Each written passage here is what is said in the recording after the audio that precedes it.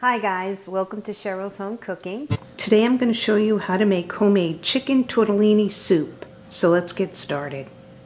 So I have 12 ounces of the tortellini, it's cheese and spinach, 2 cups of chicken broth,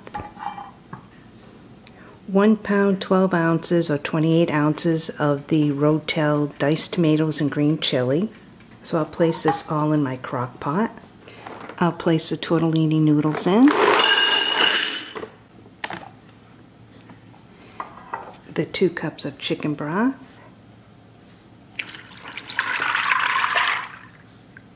Twenty-eight ounces or one pound twelve ounces of the Rotel diced tomatoes with the green chilies. I'll add that in.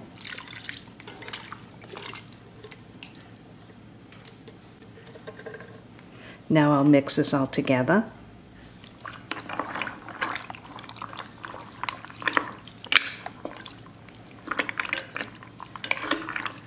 I'll place my crock pot on high, put the lid on.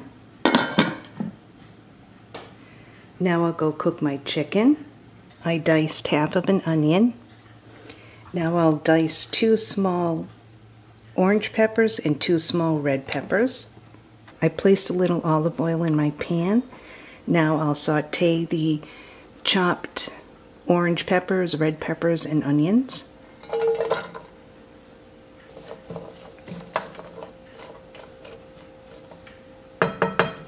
Now I'll go chop up the chicken tenders. I have eight chicken tenders that I'll cut into bite-sized pieces and place them in the pan with my peppers and onions. So I'll stir this around. Now I'm going to add in my chicken.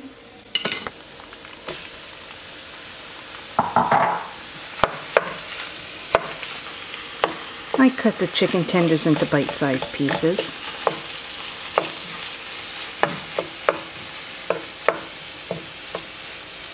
So you want to make sure your chicken is fully cooked before you put it in your crock pot. I'll salt and pepper, a little bit of salt, a little bit of pepper,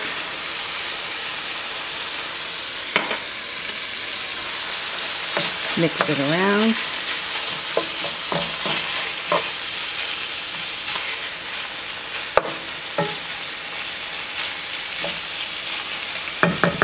Now I'll let this cook. I'll check my crock pot.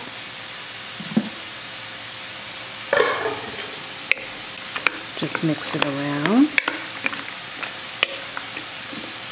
Once you add the chicken, the peppers, and the onions, and you see that you need more broth, you can add in one more cup of the chicken broth.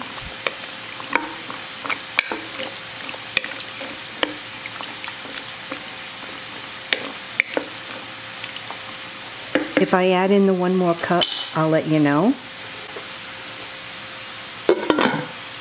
To the soup, I added in two tablespoons of dried parsley flakes.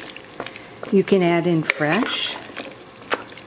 So I'm just stirring it around.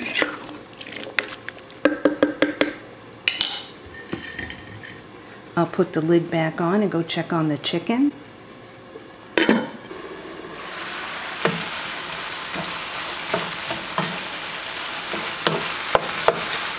Almost done.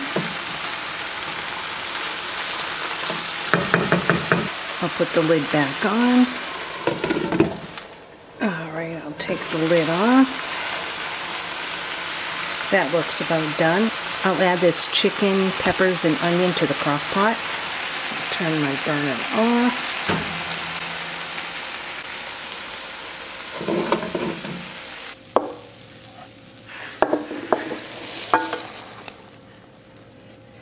Now I'll mix this all in.